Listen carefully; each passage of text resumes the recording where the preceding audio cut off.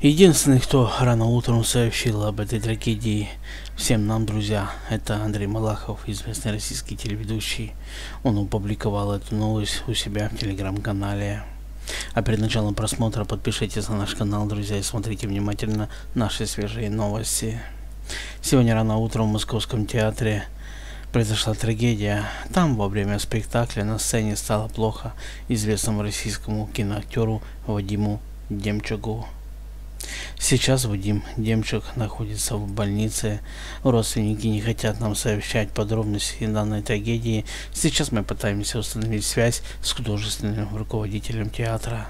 Будем надеяться, что он сможет нам что-то рассказать. Давайте поддержим Вадима Демчуга. Будем надеяться на то, что с ним все будет хорошо, друзья. Мы все очень сильно переживаем за данного актера. Подписывайтесь на наш канал, смотрите наши новости и до скорой встречи, дорогие наши зрители.